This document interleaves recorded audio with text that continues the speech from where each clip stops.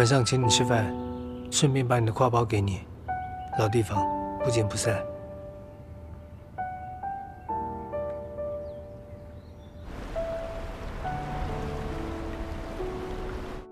你要不要赶快吃一点？都是你喜欢吃的。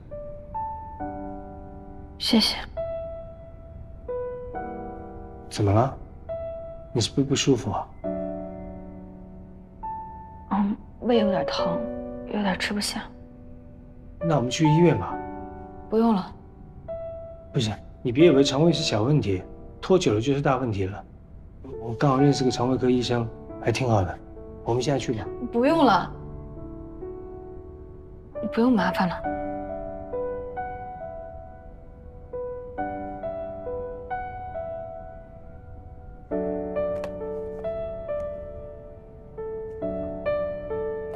项链还给你。既然你说我们不可能，那你给我的东西我也要还给你，要不然不合适。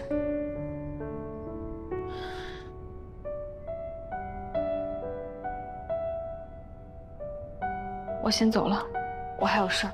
双双，外面下雨，我送你吧。不用了，我带伞了。双双，双双。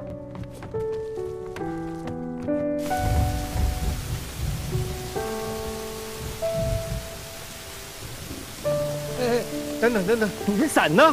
不用你管。不是，你怎么了？我没怎么。你在生什么气啊？没生气，你别管我了，行不行？秦鹤博，你还要利用我到什么时候啊？你那通电话我全都听见了，一个字也不差。我当时就在厨房里，所以你从一开始接近我，对我好，在利用我。那你干嘛演的那么真？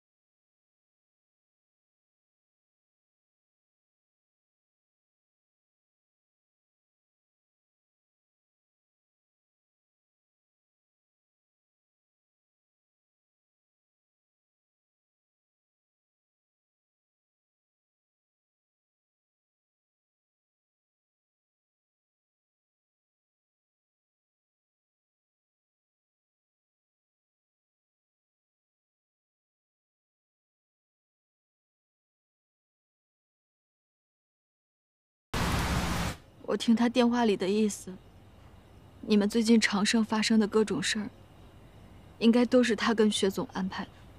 他跟薛总到底说了什么？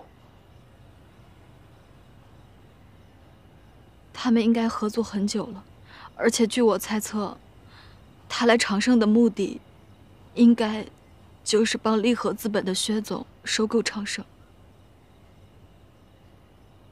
还有我当初。那个比价预算应该也是他修改的，才把 容易滋生白蚁的非洲原木做成了最优选择。对不起，我对不起你们。你也不用愧疚，你也是受害者。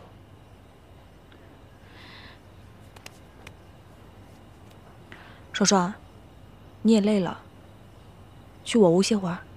嗯，走吧。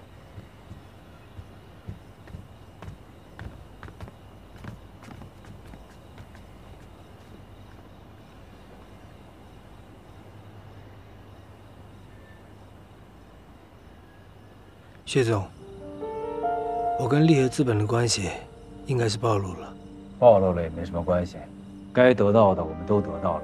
他盛哲宁也没什么证据，而且酒店三十周年庆就快到了，我相信他不敢在这个节骨眼上把事情闹出来。我明白。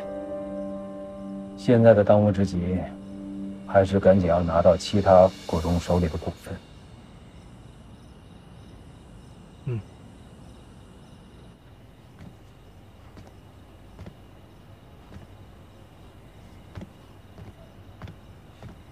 睡着了？睡了。那现在这个情况，你准备怎么办？长盛三十周年庆就要到了，这个时候不可以太冒险，对长盛的声誉不太好。既然知道了他是什么样的人，其实也挺好的，起码可以有所防备。眼下最重要的是要把周年庆给办好。那就行。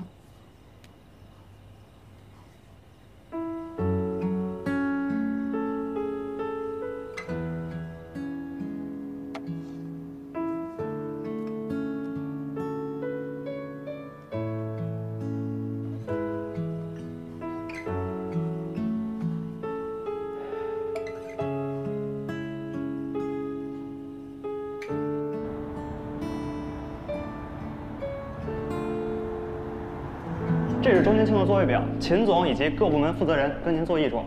这一次我不跟秦总坐一桌了，把我安排跟其他股东一桌。好的，盛总。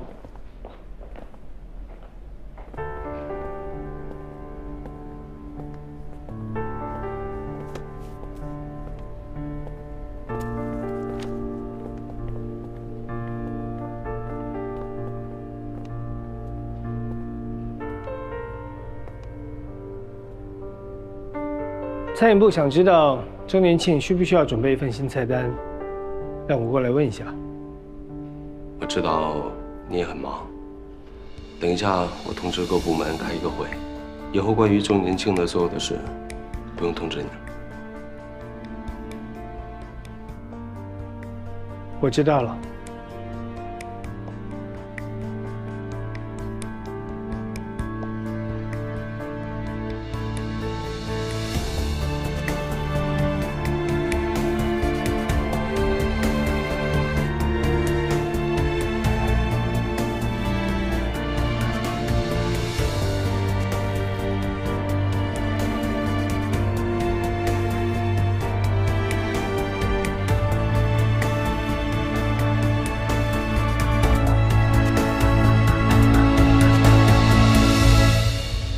发了吗？媒体那边已经全都收到了。安保呢？临时从保安公司调了六十多个保安。嗯。哦，还有，夏小姐的位置我要安排在哪儿啊？明白，安排在您身边。对了，你把我离开这段日子秦鹤国所有的工作记录给我发过来。好的。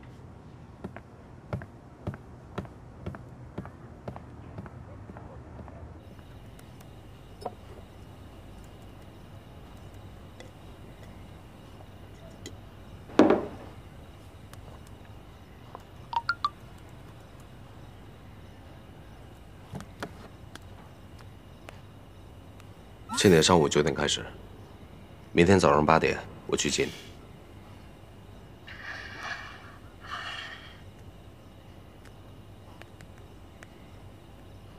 好的。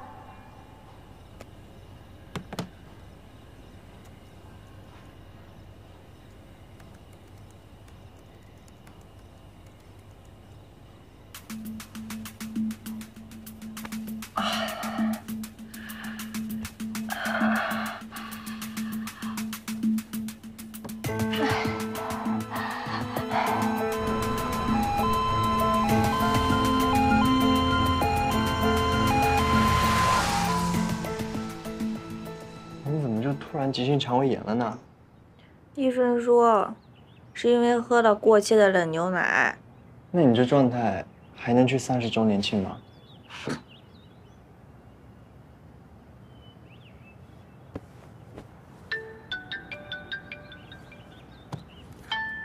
谁啊？你看。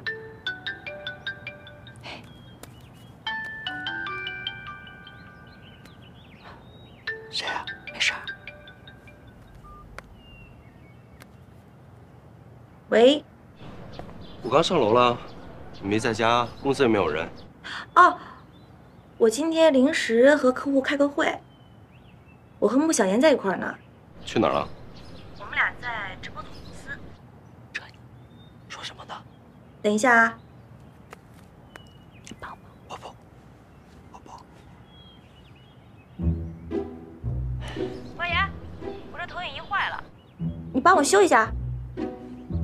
哦哦哦，好的好的好的。珍妮啊，那个对不起啊，今天本来答应你了要去酒店三十周年庆的。没关系的，还以为出什么事儿了，只是比较关心你。你到直播公司开什么会啊？哦，没什么事儿。嗯，之前我跟你聊过，我们想做直播带货，今天直播设备出了点问题。放心吧，我自己能解决。哦，好，好，好，我来了，来了，来了。还发烧吗？发烧？谁发烧了？穆小妍，让他修个那个投影仪，修半天越修越热，热的跟发烧一样，笨死了。没事儿，没事儿，你放心吧，珍妮。啊，我这准备要开会了，啊，今天一切顺利，我挂了。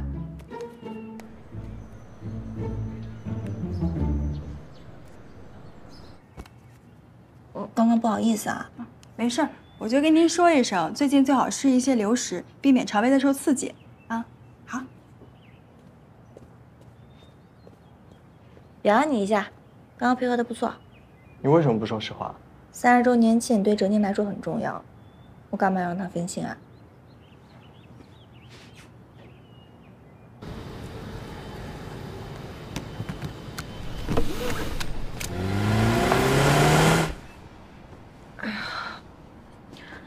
嗯，其实我计划，我想让你还有双双都加入直播，我们三个都试一下，看谁的效果更好。我行吗？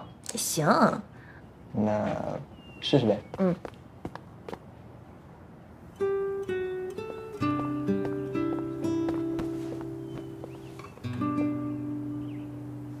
我先走了，你们慢慢聊。你怎么知道我在这儿啊？手表可以定位。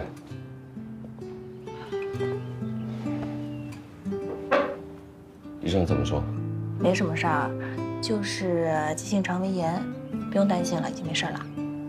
哎呦，我真不是故意骗你的，我是不想让你担心，结果没想到会变成这个样子。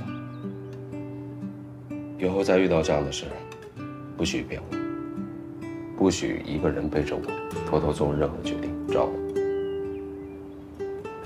知道了。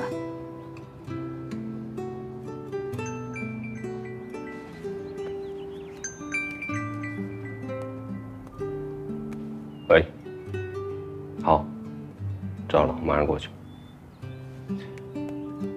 等庆典结束以后再过来看你。嗯，你快去，所有人都等着你呢。那我先走了。嗯，你去吧，不用担心没事儿了。好，杨碧。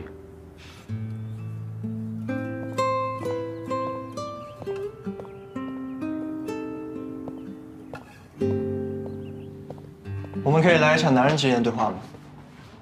嗯，严肃点。要说什么？你喜欢钱姐什么？你喜欢他什么？你怎么知道？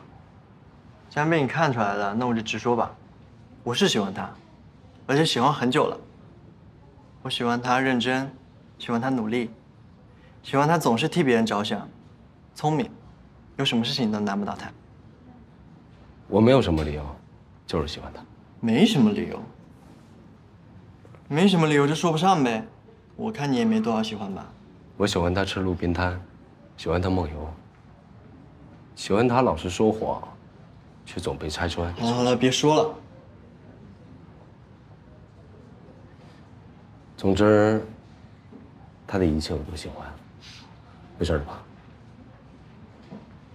但是我每天跟他在一起，我在工作上可以辅助他，生活中可以照顾他，像今天这样，你就没有一点危机感吗？多了一个我不在的时候能照顾他的人，不挺好的吗？没有危机感。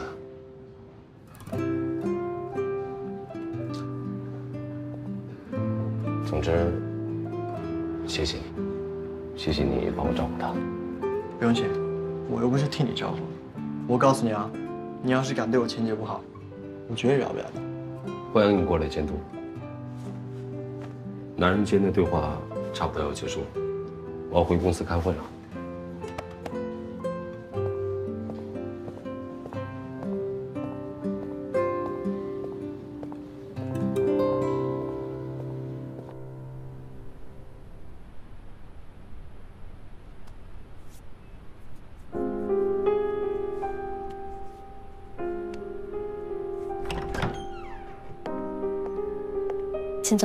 庆典负责人问您什么时候可以入场？你跟他说马上。好。燕美，你跟负责人说我不舒服，就不去了。秦总，你怎么了？盛哲，你应该知道我跟薛总的关系了，以后不用常约着。好，我知道了。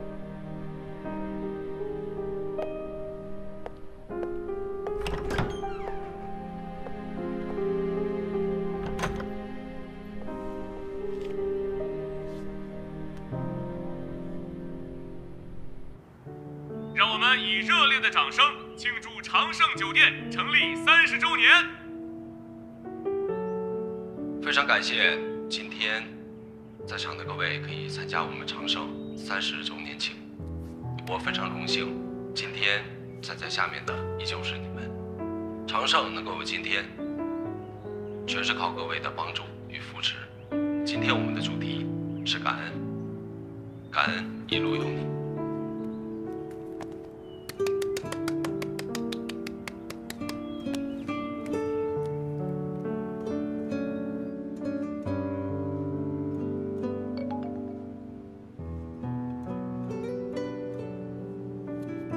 看到了，庆典非常成功，为你骄傲。另外，我已经出院了，晚上就不要来接我了，好好休息。知道。对了，你的直播什么时候开始？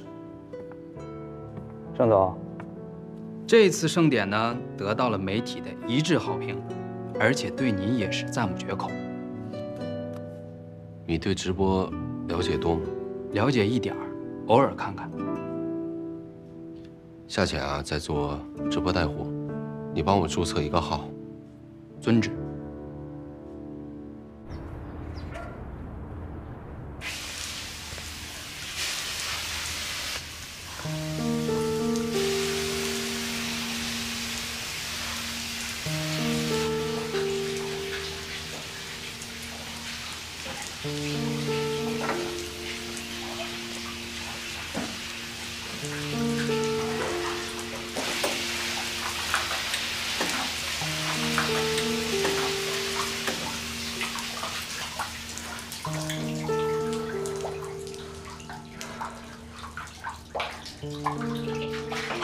知道你们来修过了，但是很明显你们干活一点都不利索。现在水管又坏了，我刚才自己拿扳子上去弄的。你们什么时候还能再来一趟？啊，那我们尽快尽快安排师傅上门。尽快不是尽快，到底是多快啊？你给我个具体的时间。上次说尽快，结果三天才来。呃，最晚明天晚上，肯定会有师傅上门的啊。好，那你们说的啊，明天晚上我等你们，你们一定要来帮我解决了。好好好，好的。嗯，好。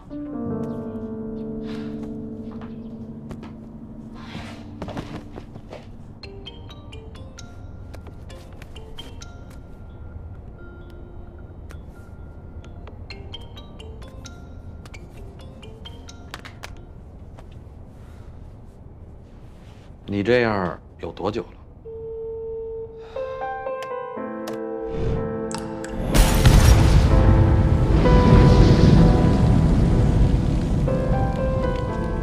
我也不知道。不过感觉胃疼有一段时间了。嗯你错过了上次的督导时间。你要知道，督导周期是经过严格的评估的，尤其是你的客户量还是比较大，你这样会很容易出现问题啊，我知道，上次因为婚礼延后了，我以后注意了。嗯，好了，现在闭上眼睛，深呼吸。你可以好好的想一想最近的经历，想说什么都可以。嗯，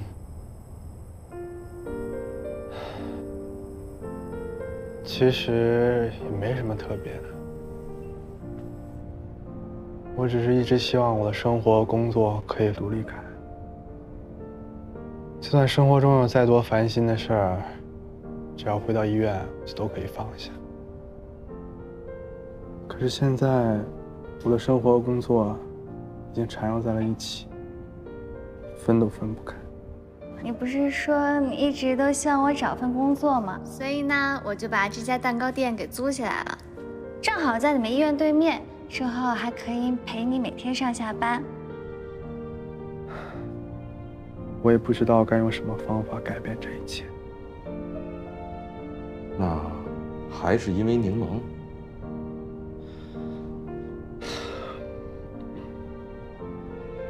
我知道他没有安全感，也明白他很爱我。可是他爱我的方式，总让我喘不过气来。今天我听小童说，你每天在医院忙的都顾不上吃饭。小童是我们医院的小童吗？嗯。你怎么会认识他呀？以后不用每天亲自做饭，我们医院的伙食还挺好的。那你是不是不想跟我一起吃饭？听说小童要被调走了。就是因为他和何医生坐在一起汇报工作，被他老婆看到了。你有没有想过，柠檬现在这个样子，会不会跟你一直过于保护他的情绪有关？我们婚礼之后，一切变得更严重。我承认我过于在乎他的情绪了。我觉得只要他开心，一切矛盾都不会发生，我们也可以过得好一些。可是我也知道，这是一种不健康的生活方式。其实嘛，你的工作上从来就没有问题，你的一切的压力的根源呢，都是来自于你的婚姻。但是关于婚姻的话，你还是有很多事儿没有说出来。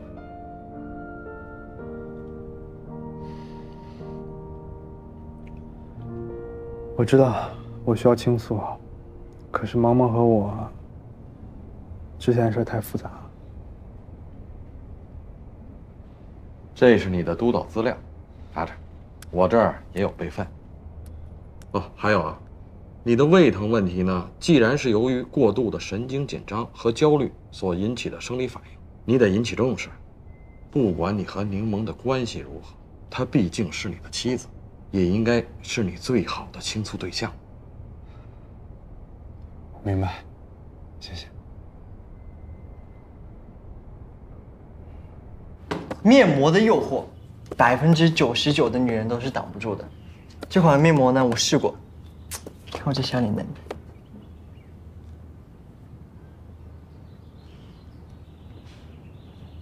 来说说，你什么想法？我觉得都还挺有优势的，呃，这里有玩的，还有吃的。我觉得都有各自的好处。小妍说的面膜挺好的。小雅，你呢？嗯，我觉得这个扫地机器人挺好的，它打折力度大，会吸引观众进入我们直播间。其实我最喜欢的是这个，是这只会讲故事的娃娃。为什么？我觉得挺普通的呀。不普通啊！它不只是一个会讲故事的娃娃。其实它最重要的是可以模拟父母的声音，就是平时父母工作很忙，没有时间陪孩子的时候，可以先把声音录进来，那小孩子又可以通过这只娃娃感受到父母的陪伴还有温暖。它是一只有灵魂、有温度的娃娃。我觉得这个很打动我，而且刚才这段话的话也很有温度，所以我们觉得在直播的时候完全可以用上它。但是在选品的顺序上，还是要听你专业的意见。嗯，其实专业也谈不上，但是我可以讲一下我个人的一个经验。呃，我刚才听大家的选择呢，我觉得就是太多的主观性在里面。其实我们直播的话，顺序是非常关键的。那我们一般开场会拿出我们一些福利很大的，比如说秒杀呀，然后还有各种抽奖啊，来吸引大家，相当于是一个热场。那我们晚间销售呢，一般是在九点到十点半，这个时候是我们在线的一个最高峰，所以我们要拿出本场品牌的力度最大的一些产品拿来冲销售。那我们今天选品的顺序就先这么定，我觉得可以。行，王岩，啊，你明天别吃饭了啊。为什么？明天零食的直播都交给你啊，你越饿吃的越香啊。你怎么又是我吃啊？我最近减肥呢。你胖总好过我胖吧？够直接，够无情。那我胖了可算工伤啊！你得对我负责哟。好，我负责，给你买个跑步机。那行了，今天我们的会就到这结束，明天我们一起努力。加油，加油！丽儿，今天特别感谢你专业的指导。那还不是你死皮赖脸的一个任性和砍价的功力，深深的折服了我。我那个是三顾茅庐，嗯，但是今天听了你的想法，还有你专业的意见，我觉得我十顾茅庐都值得。咱们一起加油，嗯，加油，嗯，加油。这是我的 ID 吗？嗯，有什么问题吗？这个名字会不会招摇了一点？招摇吗？不招摇吗？你要是觉得招摇，我也可以改一个。哎，算了算了，先这样。墙上的装饰画拿掉几个，太多了反而杂乱，但也不能大白墙，不然的话就容易曝光，肤色不好看。好，嗯，这个的话是我们的主光源，两边的话加一个辅光灯，这个可以开起来。对，我们的环形灯的话就放这里，我觉得这样可以，可以亮一点点。我好了，哦，好看，行吧？不错，哇哦，美丽。嗯。啊，大家好，欢迎来到我们的侃侃而谈直播间，我是夏浅。哎，我真的是第一次直播，我现在有点紧张，我特别害怕说错话，大家多多包涵。呃，但是今天呢，我为你们请来了你的老朋友丽儿，她来陪我直播，现在热烈欢迎她。嗨，大家好，直播间的小伙伴们，大家好。哎，我觉得我们一起都过来跟大家打个招呼吧，好不好？嗨，你们你们。哎，这是顾小妍，这个是呃小爱。好，那今天呢，我和夏浅为大家挑选了非常多的好物，而且争取了超大的优惠力度给大家。我们来预告一下，大家好，我是夏浅，今天我给大家介绍一个又可爱又好玩的东西。刚刚呢，就是我们今天重磅推荐的产品，这只会讲故事的小熊。家里面有孩子的朋友们，你们要多多关注。哎，有人留言，小浣熊一二三十五问三号链接还能不能加？抱歉，这款的话已经完全没有货了，没有抢到也没有关系，我们明天还会有更大的惊喜送给大家。我也预告一下，明天呢，在我们直播间会有大牌美妆五八折的优惠。那好啦，今天我们的直播差不多就要结束了。呃，喜欢我们商品的，喜欢我们侃侃而谈直播间的朋友们，可以点击左上方记得关注起来哟。好了，呃，明天晚上八点我们侃侃而谈，不见不散。不见不散。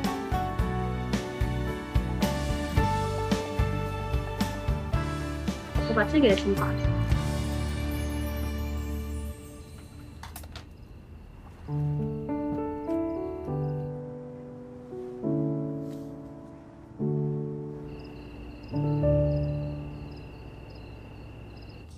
太好了，今天我们直播间粉丝数大涨，哎，真的是首战大捷啊！嗯，其实今天呢，我们直播间火爆最重要的原因是因为丽儿来了。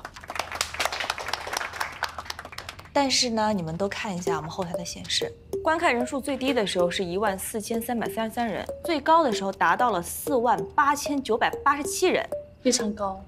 倩倩，你才第一次播呢，我觉得很不错啦。观众也是要一天一天积累起来的嘛。今天观看量最高的时候，就是钱姐在介绍玩具如何模仿其他人的声音讲故事的时候。今天卖的最好的也是这个玩具。哎，这说明我们直播间的粉丝可能很多都是妈妈，所以我觉得夏浅主打温暖牌这个思路的话是成功的。哎，双双，你今天怎么回事啊？叫你入镜你不入镜？我不行，我不知道为什么一面对镜头就特别紧张。没关系，第一次的话都会不习惯，其实慢慢来就好。我们可以继续加油努力，好不好？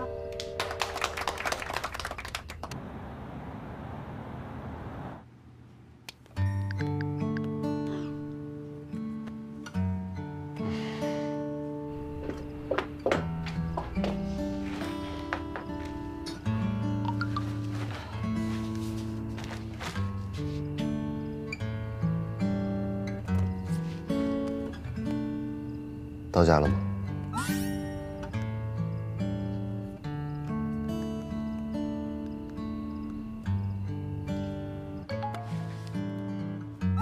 刚躺下。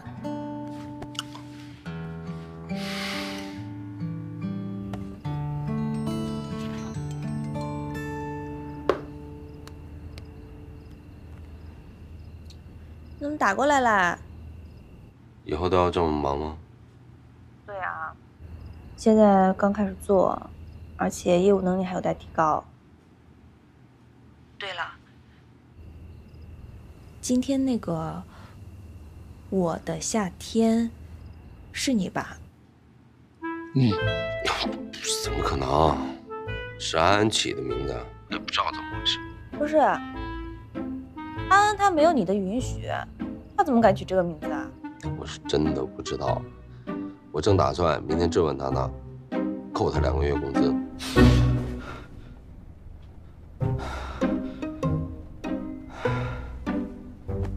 应该不会有事吧？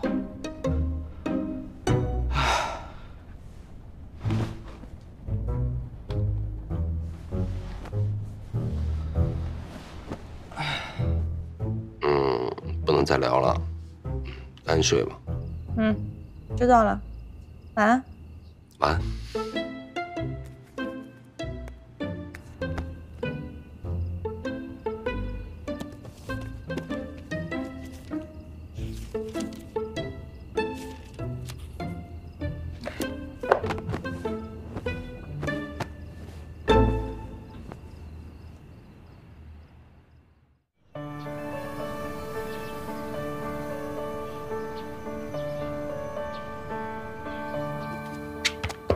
咱们的红酒是新品牌，在你保证收回成本的前提下，你适当降价是非常有必要的。要做的是什么？就是口碑嘛。等你去扩大了市场份额，那后面的收益自然而然就来了呀。明白了，夏小姐，具体的折扣多少，我还得回总公司商量一下。我们退后一步，顾客就会上前一步。夏小姐跟上面的公司签了一个协议，一个月之内必须要达到合同里的销售额，否则就会有罚款。你帮我查一下最近有没有什么节日？节日？你干嘛问这个问题？咱们酒店逢年过节不都给员工发放福利吗？找一个节日，以我的个人名义去夏浅直播间买些东西送给员工，这样的话，他就可以轻松的达标了。不过好像最近真没什么重要的节日。你查一下，小的也可以。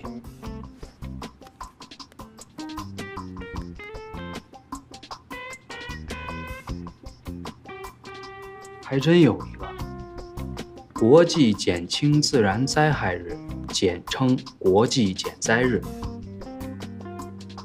这个就它了，这个节日特别有意义。记住啊，这个事儿千万不可以让夏浅知道。Hello，来浅浅直播间的朋友们，哎呦，现在也是很晚了，不好意思啊，耽误你们吃饭的时间了。但是没有办法，谁让我们今天的折扣非常给力呢？对吧？呃，今天我给大家带来的宝贝呢，就是大家可以看到的红酒。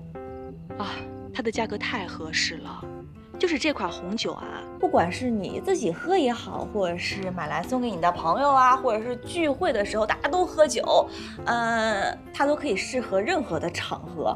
我之前替大家都已经喝过了，就是口感入口是那种嗯淡淡的甜香味儿，然后果香也是非常适中的，入口的口感也不会觉得很涩，就是任何时候你喝它都完全没有问题。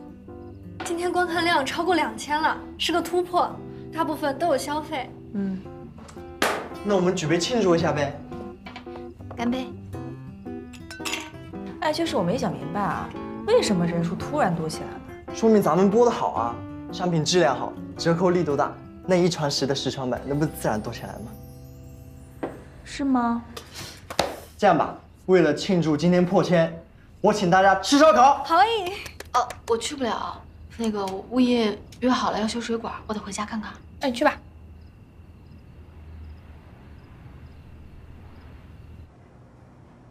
这是你离开酒店之后秦河博所有的工作记录。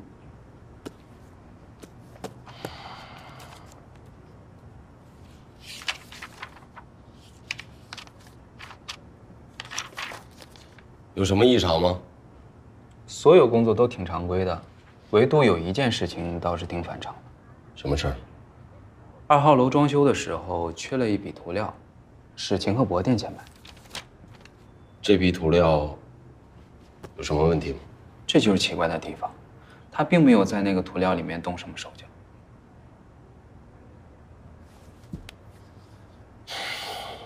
嗯，我知道了。开，大家都知道的，然后把红薯放进去，电源已经接通了，然后选择它的模式。这个一体机它可以有智能的蒸烤模式，按下确定键，然后点开始就好了。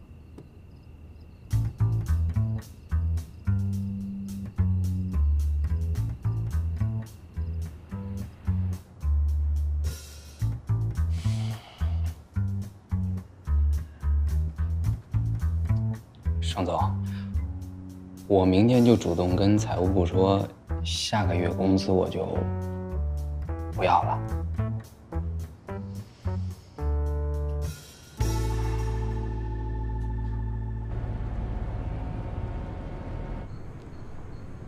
国际减灾日，给员工发福利的老板，你估计是头一个。哎呀，我认真的反思了一下，我觉得我这样做没有任何实际的意义。为了双赢呢，我决定投资你们的直播间。投资我直播间？什么意思啊？你别误会啊，肯定不是因为你是我女朋友我才做出这样一个决定。我呢，只是单纯的看好直播这个行业，它的前景，还有你们出色的业务能力。是吗？那如果我们的工作不能让盛总满意呢？你放一万颗心啊！我做任何的投资，从来就没有亏损过。相信我。怎么不是你相信我呢？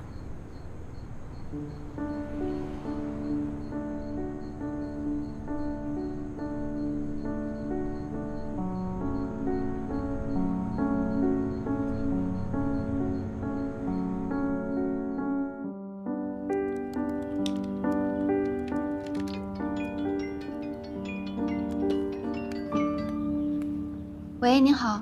傅小姐，你家卫生间又渗水了，能对不赶紧回来起啊看看吗？，哦，我这就回来。您等我一下。哎哎。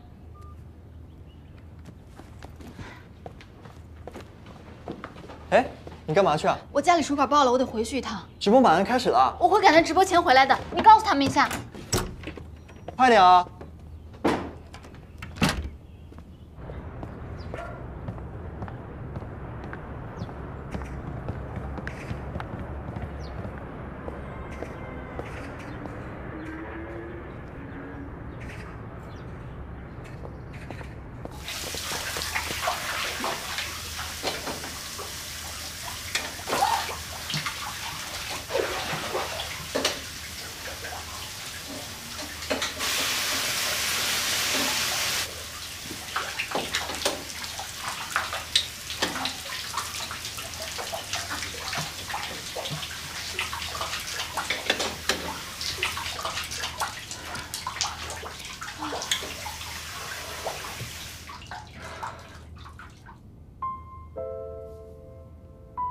你楼上干嘛呢？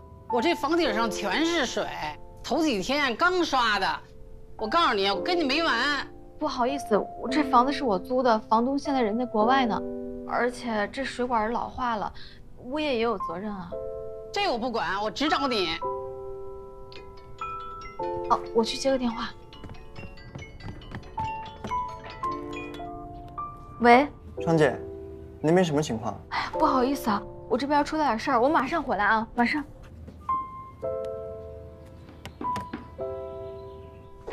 我公司有点事儿，我先回去了，咱们回来商量行吗？你要跑了怎么办？哎，要不这样吧，我把身份证压你这儿，我不会跑的。行。